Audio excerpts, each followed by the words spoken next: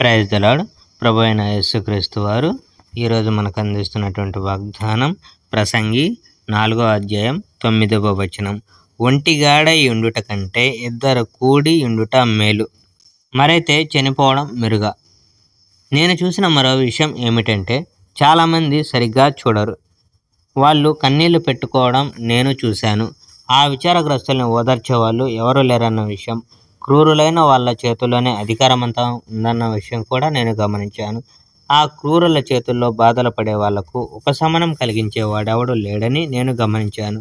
ఇంకా బతికి ఉన్న వాళ్ళ కంటే చనిపోయిన వాళ్ళ పరిస్థితులే మెరుగ్గా ఉన్నాయని నేను తీర్మానించుకున్నాను. పరిస్థితి అంతకంటే కూడా మెరుగ్గా ఉంది. ఎందుకంటే ఈ ప్రపంచంలో జరిగే ఏ చెడును వాళ్ళెవరూ చూడరు. మరి కష్టపడి పనిచేయడం ఎందుకు? తర్వాత నేను ఇలా అనుకున్నాను. మనుషులు మరింత కష్టపడి పనిచేస్తారెందుకు?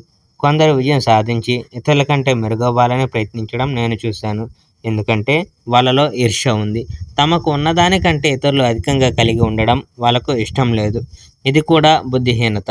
ఇది గాలిని మూట కట్టుకునే ప్రయత్నం. కొందరు ఇలా అంటారు. ఏమి చేయకుండా చేతులు ముడుచుకొని కూర్చోవడం మూర్ఖత్వం. మీరు పని చేయకపోతే పస్తులుండి చస్తారు. బహుశా ఈ మాట నిజమే కావచ్చు. మరికొన్ని సంపాదించుకోవాలని సదా తంటాలు పడడం కంటే ఉన్న కొద్ది వాటితో తృప్తి చెందడం మెరుగని నా ఉద్దేశం. మతి మాలిన మరో విషయం నేను గమనించాను. ఒక వ్యక్తి ఉంటాడు. అతనికి కుటుంబం ఉండకపోవచ్చు. ఒక కొడుకో ఒక సోదరుడో ఉండకపోవచ్చు. అయితేనేమి? అతను రెక్కలు విరుచుకొని అతిగా పనిచేస్తూనే ఉంటాడు.